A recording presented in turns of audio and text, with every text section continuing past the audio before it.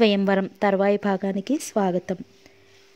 So మనకి ఈ పాటలో మనం ఎదురు చూస్తున్నది ఏమిటంటే రేణుకి ఆనందతో పెళ్ళి ఎలా తప్పిపోతుందో తెలుసుకుందాం ఈ కథలోకి వెళ్ళి. అసలు తప్పిపోతుందో లేదో కూడా కదా? సరే. రేణు పరీక్షలు పూర్తి కాగానే జలజ పుట్టింటికి బయలుదేరింది. అసలే రోజంతా ఇంట్లో గడపటం కాలక్షేపం కావటం లేదనుకుంటే వదిన కూడా లేకపోవటం మరీ బోరుగా ఉంది రేణుకి. అది వరకటి రోజుల్లో అయితే వదినతో కబుర్లు చెప్పటానికి రేణుకి మాటలే ఉండేవి కాదు. సాధ్యమైనంత వరకు ఎవరి గదుల్లో వాళ్ళే కూర్చునేవారు. ఇప్పుడు జలజ కూడా చాలా మారిపోయింది. రేణు ముభావంగా కూర్చున్నా ఏమో కబుర్లు చెప్పటం కథలు వినిపించడం చేస్తూ ఉంటుంది. పాపం వదినికి సవతిపోరు లేకుండా చేయగలిగితే ఎంత బాగుంటుంది అనుకునేది రేణు చాలాసార్లు. కానీ అంతలోనే నిట్టూర్చి నా అదృష్టంలో ఏముందో నాకే తెలియదు. అలాంటిది మరొకరి అదృష్టాన్ని తీర్చిదిద్దాలనుకోవటం ఎంతో అవివేకం అనుకునేది. ఉదయం సాయంకాలం వంటకాలు మధ్యాహ్నం టిఫిను ఏమేం చేయాలో వంటవాడికి చెప్పటం మిగతా సమయాలలో నావెల్స్ చదువుకుంటూ గదిలో కూర్చోవటం లేకపోతే ఫోన్లో స్నేహితురాలతో మాట్లాడుతూ కూర్చోవటం ఇలా గడుపుతుంది రోజులు. కరుణకి ట్రైనింగ్ అయిపోగానే హైదరాబాద్లోనే పోస్టింగ్ వచ్చింది. తరచూ ఆ అమ్మాయితో మాట్లాడుతూ ఉండేది. ఆ వేళ అలాగే కరుణకి ఫోన్ చేద్దామని డ్రాయింగ్ రూమ్లోకి వచ్చింది. అంతలో గుడ్ ఈవినింగ్ అంకుల్ అని వినిపించింది. ఎవరా అని రేణు అనుకుంటుండగానే జయసేనరావు గుడ్ ఈవినింగ్ రారా అని ఆహ్వానించటం ఆనంద్ని వెంట పెట్టుకుని లోపలికి రావటం జరిగిపోయింది. రేణు తొట్టుపడినట్లు కంగారు పడుతుంటే ఆనంద్ అదోలా నవ్వుతూ గుడ్ ఈవినింగ్ అన్నాడు. రేణు తడబడుతూ ఎలాగో గుడ్ ఈవినింగ్ అని మెల్లగా అవతలికి జారుకుంది. జయసేనరావు ఆనంద్ మాట్లాడుకుంటుంటే సత్యమూర్తి మేడ దిగి కిందకి వస్తూ అంత దూరం నుండే కాబోయే బావగారిని చూసి ముఖం నిండా నవ్వుతూ వాటే సర్ప్రైజ్ ఎప్పుడొచ్చావు? ఆనంద్ ఫోనైనా చేయలేదేమిటి? అన్నాడు. ఇంతకుముందే వచ్చాను. కాసేపు రెస్ట్ తీసుకుని స్నానం చేసి బయలుదేరాను. మొదట మిమ్మల్ని అందరినీ చూద్దామనిపించింది వచ్చేశాను అన్నాడు ఆనంద్. అతను సత్యమూర్తితో మాట్లాడుతున్నా మనసు మరెక్కడో ఉన్నట్లు అతని దృష్టే చెప్తోంది. నీ కోతలని నేను నమ్ముతాననుకున్నావా? నువ్వు ఎవరిని చూడాలని వచ్చావో నాకు తెలియదనుకుంటున్నావా? దగ్గరగా వచ్చి ఆనంద్ భుజం తడుతూ అన్నాడు సత్యమూర్తి. ఆనంద్ మురిపంగా నవ్వేశాడు. సత్యమూర్తి హాలు నాలుగు మూలల కలిగి చూస్తూ రేణు ఏది? అసలు ఇంట్లో ఉందా? ఎక్కడికన్నా చెక్కేసిందా? అన్నాడు. ఉంది. ఆనందును పలకరించే వెళ్ళింది. వస్తుంది అన్నాడు జయసేనరావు. హాల్లో మాటలు వినిపించి బలరామయ్య కూడా లోపల నుండి వచ్చాడు. నలుగురు కబులు చెప్పుకుంటూ కూర్చున్నారు. గదిలో మంచం మీద కూలబడిపోయిన రేణు గుండెలు అదిరిపోతున్నాయి.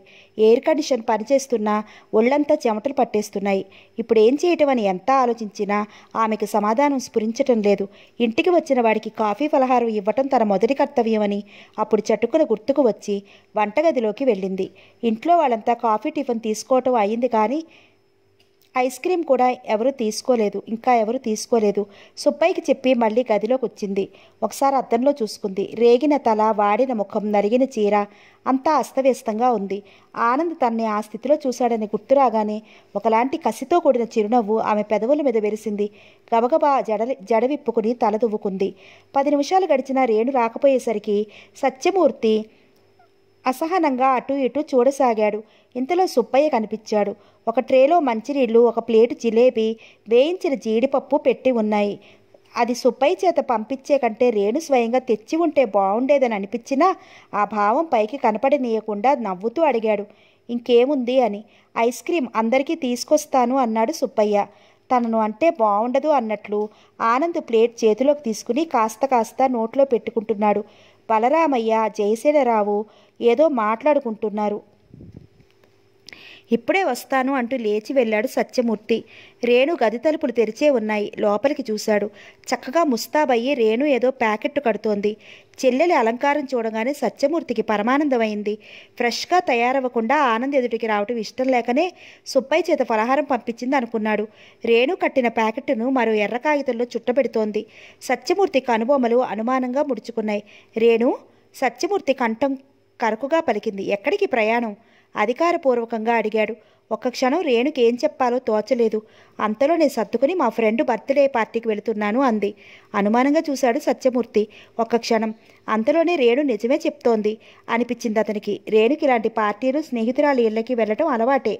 అయినా ఆనంద్ అంత ఉత్సాహంతో రెక్కలు కట్టుకుని వచ్చినట్టు వాలిపోయి వాలినాడే ఈ పార్టీకి పార్టీకి కూడా వెళ్ళాలా అని కాస్త కోపం వచ్చింది.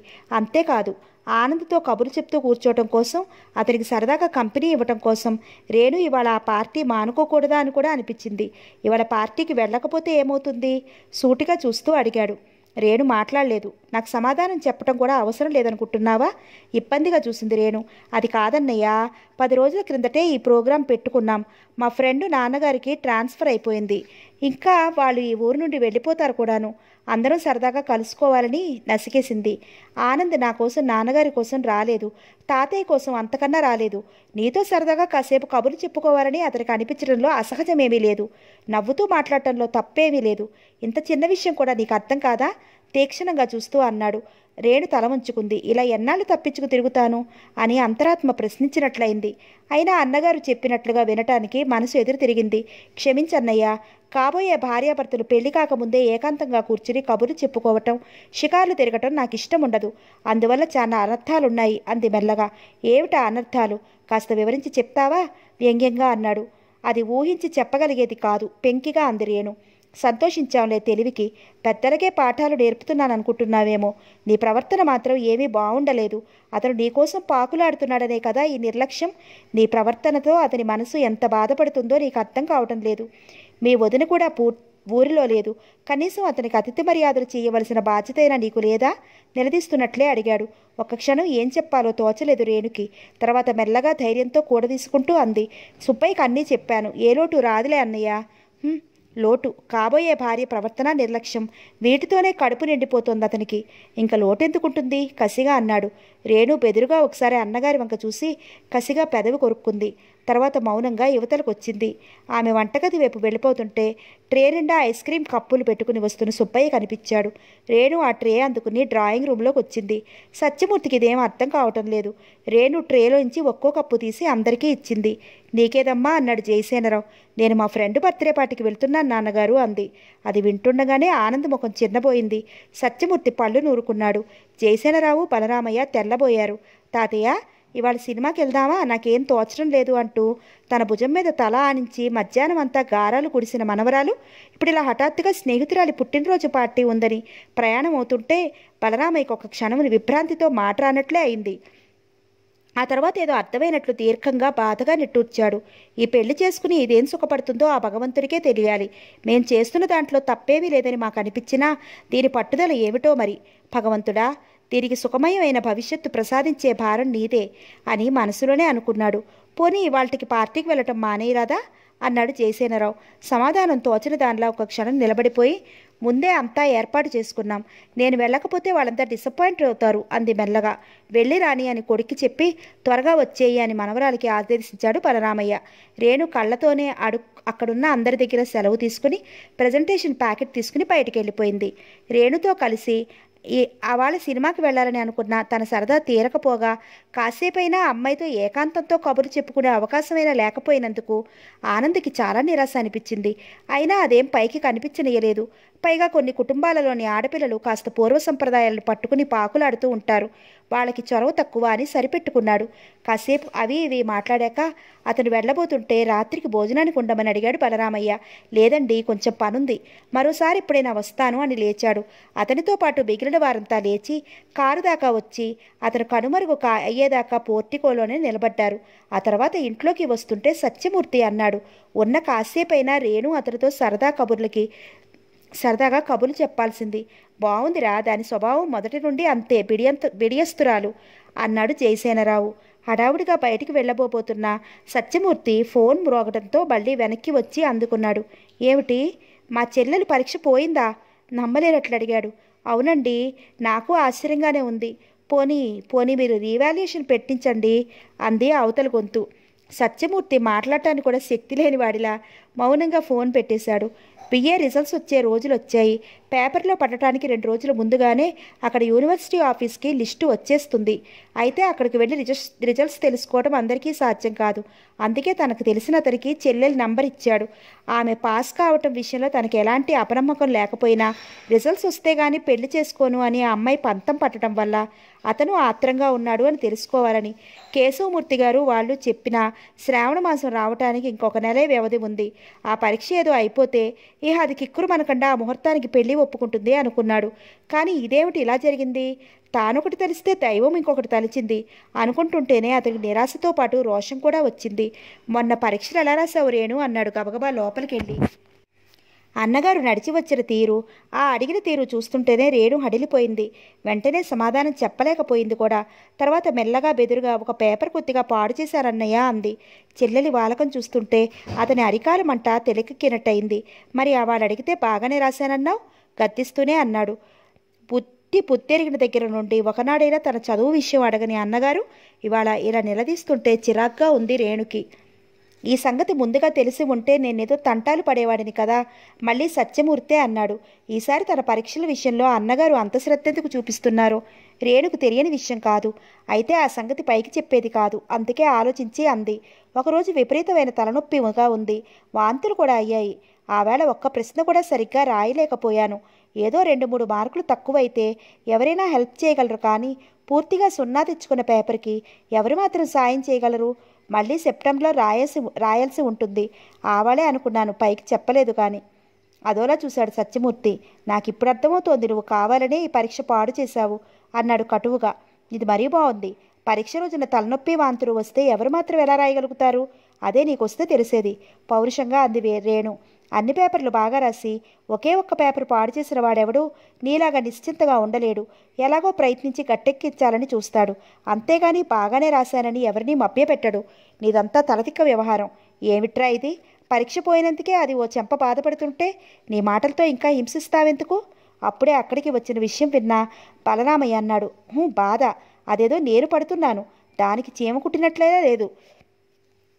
పెద్దవాళ్ళున్నారన్న మాటే గాని మీరైతే మీరైనా దానికి ఒక్కనాడు చెప్పరు. ఎంతసేపు నా నోరు బుయటవే కానీ ఇదిగో ఇప్పుడే చెప్తున్నాను. మళ్ళీ ఈ పరీక్ష అయ్యేదాకా ముహూర్తం వాయిదా వేయటం కుదరదు. అంకుల్ వాళ్ళు అన్నట్లు శ్రావణ మాసంలో జరిగిపోవలసిందే పెళ్ళి నిష్కర్షగా చెప్పేశాడు. సత్యమూర్తి మాటలు గట్టిగా వినిపిస్తుంటే మళ్ళీ ఏవైందా అనుకుంటూ అక్కడికి వచ్చింది జలజ. ఆమె నాలుగు రోజుల కిందటే పుట్టింటి నుండి వచ్చింది. తల్లికి సుస్థిగా ఉందని చూడటానికి వెళ్ళింది. ఆ సుస్థి అనుకోకుండా ఎక్కువయ్యి జలజ వెళ్ళిన ఇరవై రోజులకే ఆమె మరణించింది. తల్లి పోయాక మరో నెలకు పైగా అక్కడ ఉండి తిరిగి వచ్చేసింది. ఇదివరకు దాకా ఎప్పుడైనా పుట్టింటికి వెళ్ళొచ్చు ఉండొచ్చు అనుకునేది. తల్లి పోయాక ఇహ ఆశ కూడా లేదు. అక్కడ భర్త మళ్ళీ పెళ్ళి చేసుకుంటే ఆ కొత్త భార్య మోజులో.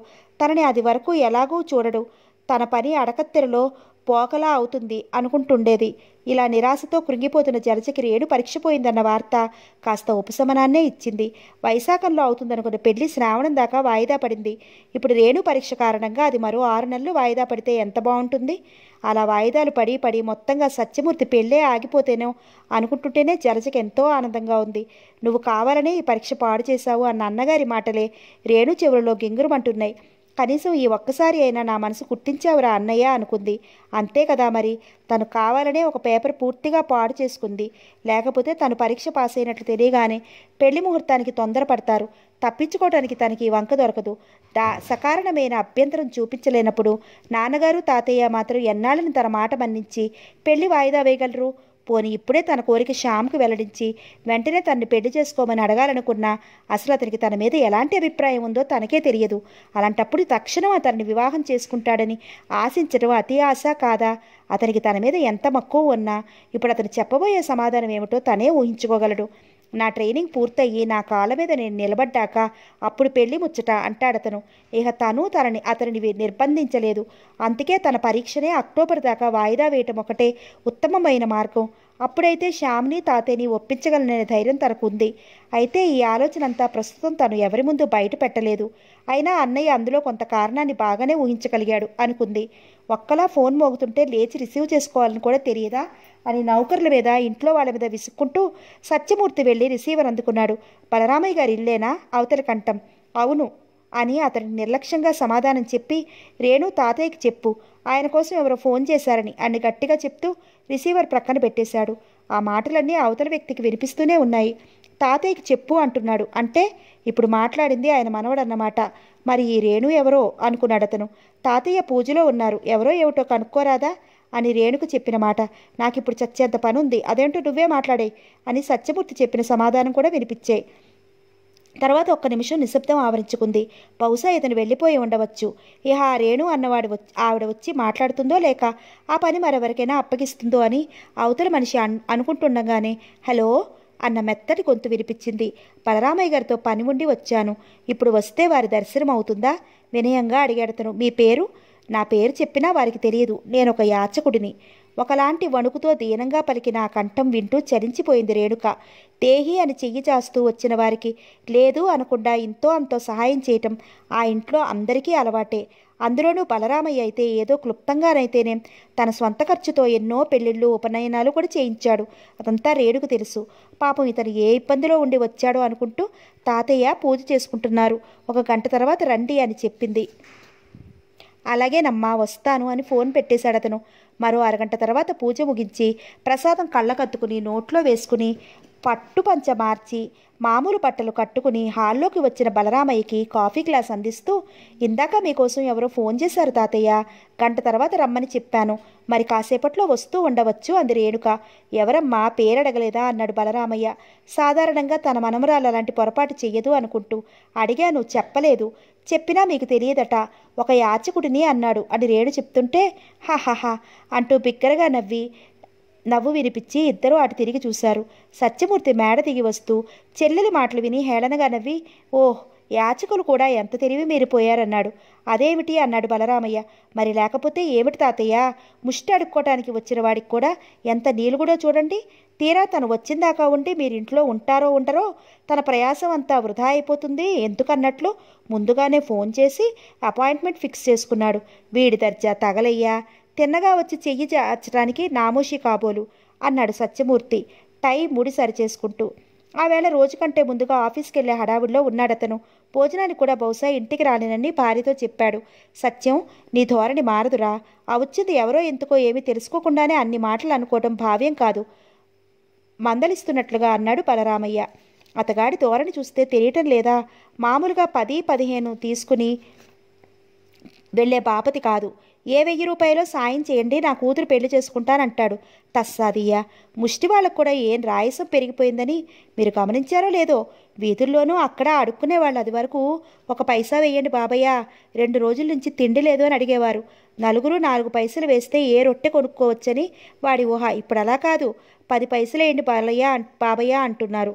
అవును మరి ధరలు మండిపోతున్న ఈ రోజులలో. ఒక పైసాకి ఏమొస్తుంది మరి? మధ్యలోనే విసుగ్గా అంది రేణు. నన్ను పూర్తిగా చెప్పనిస్తావా మరి? అని అంతకన్నా చిరాగ్గా విసుక్కుని తాతయ్య ఇప్పుడు ముష్టి వాళ్ళు ఏమని అడుగుతున్నారో తెలుసా?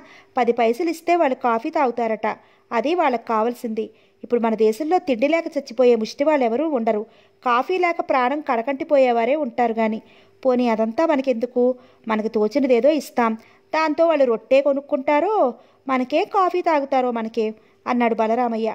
అది నిజమే అనుకోండి కానీ వాళ్ళు అడిగే పద్ధతిలో మార్పు మీరు కనిపెట్టారో లేదో అని చెప్తున్నా. ఒకనాడు సుబ్బయ్య ఒక వింత చెప్పాడు. వింటారా? ఓ రాత్రి తొమ్మిది తొమ్మిది గంటలు అవుతుంటే ఎవరో ముష్టికొచ్చే ముష్టివాడు వచ్చాడట ఆవాడ మన ఇంట్లో అన్నం కూర ఏమీ మిగల్లేదట. అందుకని వెళ్ళిపోమన్నాడంట సుబ్బయ్య. అప్పుడు ఆ ముష్టివాడు నా దగ్గర అన్నం ఉంది. కాస్త కూర పప్పుచారో వేయమన్నాడట. అవేవి లేవు. కావలిస్తే ఆవకాయ వేస్తానని సుబ్బయ్య అంటుంటే వాడు వణుక్కుంటూ సణుక్కుంటూ వెళ్ళిపోయాడట. ఇలా ఉంది ప్రపంచం. ఇంకా ఇలాంటి ఉదాహరణలు కూడా చెప్పగలను కానీ ఇప్పుడు నాకు టైం లేదు వెళ్ళాలి అంటూనే హడావుడిగానే వెళ్ళిపోయాడు. మరి కాసేపట్లోగా గేటు ముందు ఆటో ఆగింది. అందులో నుంచి తెల్లటి పంచ తెల్లటి ఫుల్ హ్యాండ్ షర్టు భుజం మీద జరీ ఉత్తరీయం వేసుకున్న మనిషి దిగాడు. డబ్బు ఇచ్చేసి ఆటోని పంపించి మెల్లగా గేటు తెరుచుకుని అతను లోపలికి రాబోతుంటేనే రాజు వెళ్ళాడు. ఎవరో కనుక్కోవాలని. దూరం నుండి అంతా గమనిస్తున్న రేణు బలరామయ్య బహుశా అతనే ఇందాక ఫోన్ చేసిన మనిషి అయి ఉండవచ్చు అనుకున్నారు. రాజు వెంట అతను వస్తుంటే రేణు లోపలికి వెళ్ళిపోయింది. ఈయనే పెదబాబు గారు మీరు అడిగిన బలరామయ్య గారు అని చూపించి ఈయన మీకు ఫోన్ చేశారట కదా అన్నాడు రాజు బలరామయ్యతో. అవును నువ్వు వెళ్ళి పని చూసుకో అని వాడిని పంపించేసి రండి అని ఆగంతకుడిని ఆహ్వానించి డ్రాయింగ్ రూమ్లోకి దారి తీశాడు బలరామయ్య. ఆ వచ్చిన అతనిని చూస్తుంటే మామూలు యాచకుడిలా అనిపించటం లేదు. ఒకప్పుడు బాగా బ్రతికి ఇప్పుడు చితికిపోయాడేమో. ఏదో ఇబ్బందిలో ఉండి ఇహ మరో దారి లేక ఇలా తనని ఏదో అడగటానికి వచ్చాడేమో అనిపించింది బలరామయ్యకి. నా పేరు కామేశ్వరరావు. నేను మిమ్మల్ని ఒకటి అర్థించటానికి వచ్చాను అన్నాడు అతడు బలరామయ్య వెంట నడుస్తూ. అవునుట మా మనవరాలు చెప్పింది. చెప్పండి ముందు కూర్చోండి. నేను యాచించేది డబ్బు కాదు మరొకలాంటి సహాయం అన్నాడు కామేశ్వరరావు. బలరామయ్య ఎదురుగా ఒక సోఫాలో కూర్చుంటూ చెప్పండి నలుగురు తిరగడి గది అయితే బాగుంటుందేమో అనుమానంగా చూస్తూ అన్నాడు. ఇప్పుడు ఇక్కడికి ఎవరూ రారు. అయినా మీరు ఇలా రండి అని తన పక్కన ఉన్న కుర్చీ చూపించాడు బలరామయ్య. ఆ కామేశ్వరరావు మాటలు వింటున్న కొద్దీ ఒకలాంటి కుతూహలం కలగసాగింది. ముక్కు మొహం తెలియని తనలాంటి కొత్తవాడితో ఇతను చెప్పబోయే రహస్యం ఏమిటో అని. కామేశ్వరరావు ఒకసారి బలరామయ్య ముఖంలోకి చూశాడు. మరోసారి అనుమానంగా చుట్టూ కలిగి చూశాడు. అంత పెద్ద హాల్లో అధునాతనంగా అందంగా అలంకరించిన ఆ డ్రాయింగ్ రూమ్లో అన్ని సోఫాలు కుర్చీల మధ్యగా తామిద్దరే ఉన్నామని రూఢీ చేసుకుని మెల్లగా చెప్పటం మొదలుపెట్టాడు. ఒకసారి కాలేజీ డే ఫంక్షన్లో ఎస్ఏ రేటింగ్ కాంపిటీషన్ తాలూకు ఫస్ట్ ప్రైజ్గా తీసుకుంటున్న మా అమ్మాయిని ఆ కాలేజీ విద్యార్థి స్నేహితుడు ఒకటి చూశాడట. మర్నాడే ఆ స్టూడెంట్ను కూడా వెంట పెట్టుకుని మా ఇంటికి వచ్చి తనని పరిచయం చేసుకుని మా అమ్మాయిని పెళ్ళి చేసుకుంటానన్నాడు. నేను మొదట తెల్లబోయాను. సరే తర్వాత అతని తండ్రి పేరు ఇంటి పేరు అవి అన్నీ కనుక్కున్నాను. చాలా మంచి సంబంధమే. అయితే అంత ఎత్తుకు నేను తోగలేననుకున్నాను. అదే చెప్పాను ఆ కుర్రవాడితో. తనకి గాని తన తల్లిదండ్రులకు కానీ కట్టంతో ప్రమేయం లేదని తను మెచ్చిన పిల్లని వాళ్ళ వాళ్ళు ఎంతమాత్రం కాదనరని ఈ పెళ్ళికి ఎలాంటి ఆటంకాలు రావని ఎంతో వినయంగా చెప్పాడు. అదృష్టం కోరి వచ్చి వరిస్తుందనుకుని కాదనే వాళ్ళు ఎవరు ఉండరు అనుకున్నాను. అలాగే మేము సంతోషించాం. అతని మాటలు విని నా శక్తి మేరకు అంతగా ఆడంబరాలు లేకుండా పెళ్ళి జరిపిస్తానని మొదట అబ్బాయి తల్లిదండ్రులతో మాట్లాడతానని చెప్పాను. వెంటనే వివాహం జరిపించేయచ్చు అనే ఉద్దేశంతో తండ్రి వ్యాపార రీత్యా జర్మనీ వెళ్ళాడని మూడు నెలల తర్వాత కానీ తిరిగి రాడని చెప్పాడు.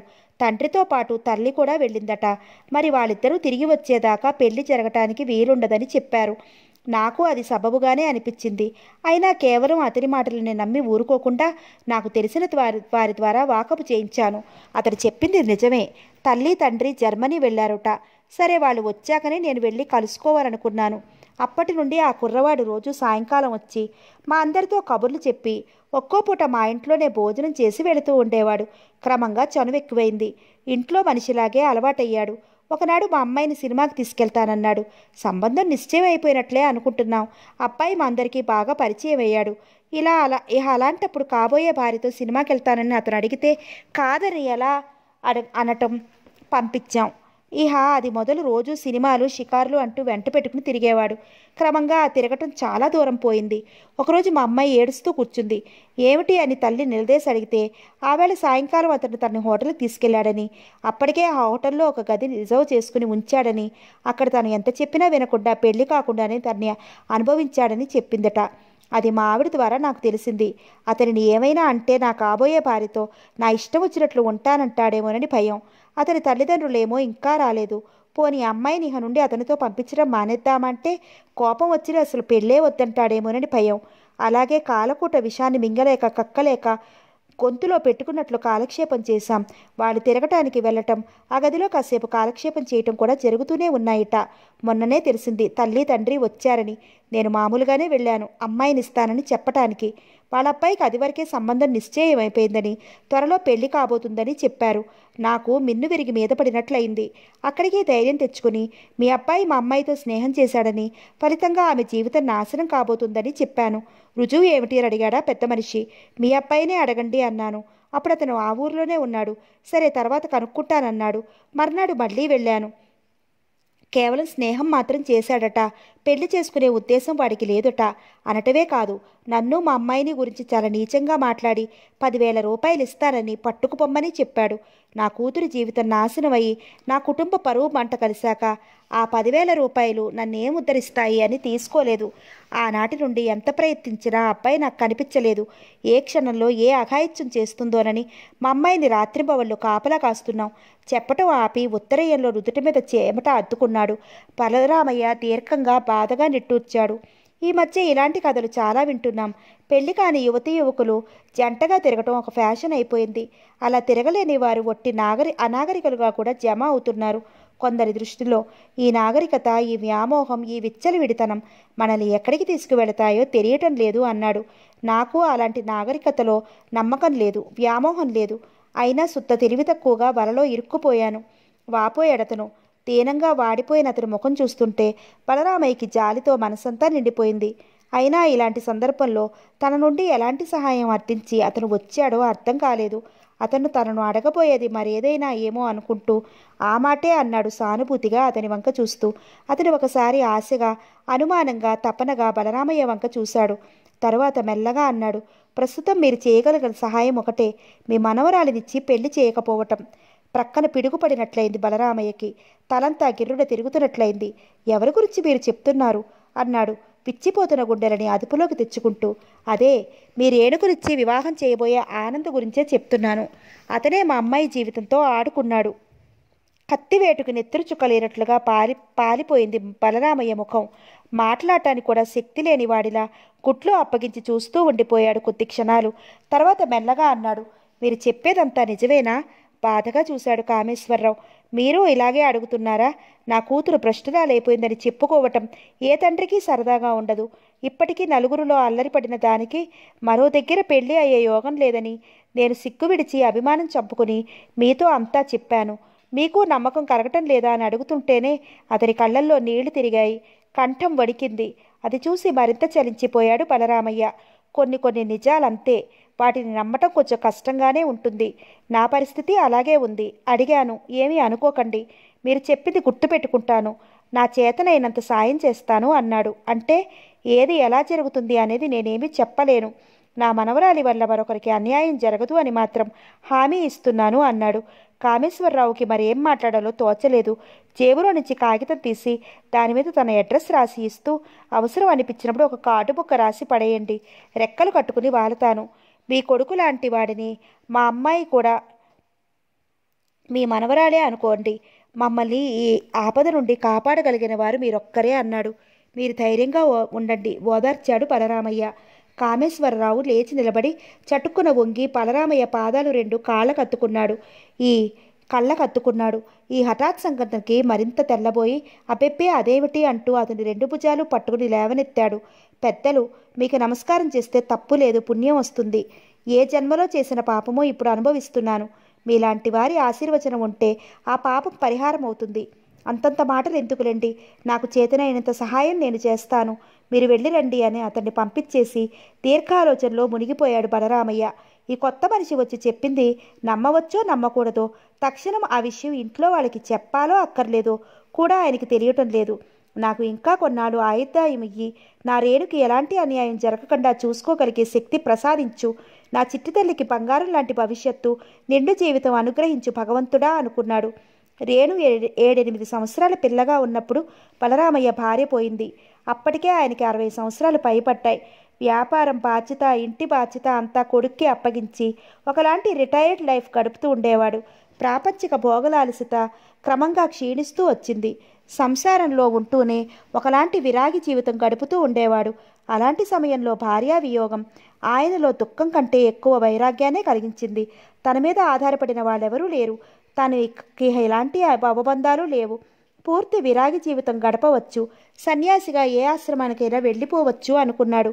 అయితే ఆ ఆలోచన ఆచరణలో పెట్టక పూర్వమే అసలు దానిని పెదవి విప్పి మరొకరితో చెప్పక పూర్వమే కోడలు మృత్యువాతపడింది ప్రపంచం ఇంతటి వైద్య పరిజ్ఞానం సాధించింది అని మురిసిపోయే మానవుడు ఆమెకి వచ్చిన మూడు రోజుల జ్వరానికి చికిత్స కనిపెట్టలేకపోయాడు. భార్యా వియోగంతోనే కుమిలిపోతున్న బలరామయ్యకి కోడలి మరణం మరో గొడ్డలి పెట్టుగా తగిలింది. అతని దుఃఖం చూసి అతనికి మతిభ్రమణం కలుగుతుందేమోనని చాలామంది భయపడ్డారు. ఈ దెబ్బతో సన్యసించి ఏ అడవులకో పారిపోతాడని కొంతమంది అనుకున్నారు. కానీ అతను ఏమీ కాలేదు. రోజురోజుకి ధైర్యం పుంజుకుని మనవరాలి ఆలనాపాలన చూసుకోవటం మొదలుపెట్టాడు. ఆ పిల్ల ఆటపాటలు చూసి నవ్వటం మొదలుపెట్టాడు. అంతేకాదు ఈ ఎదురు కొడుక్కి ధైర్యం చెప్పాడు. ఇదంతా చేయటానికి కారణం ఒక్కటే.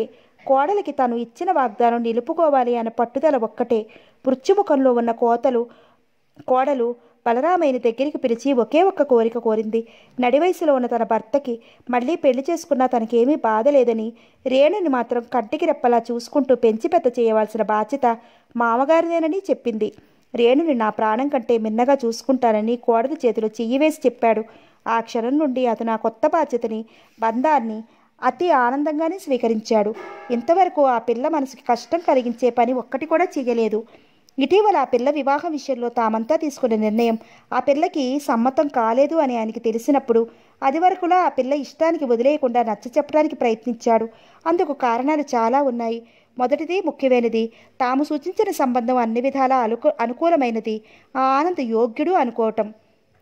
రెండు ఇలాంటి సందర్భాలలో అమ్మాయికే అంతా వదిలేస్తే ఒక్కోసారి రాంగ్ సెలక్షన్ చేసుకుంటారు అనే భయం.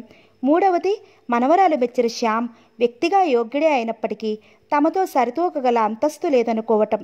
ఇక నాలుగవది ఒకలాంటి ఆకర్షణతో పసితనంతో రేణు ఒక అభిప్రాయాన్ని వెలుబుచ్చినా తర్వాత అంతా మర్చిపోయి పెద్దల మాట మన్నించి చేసుకున్న భర్తతో ము- సుఖంగా కాపురం చేసుకుంటుంది అన్న ధైర్యం.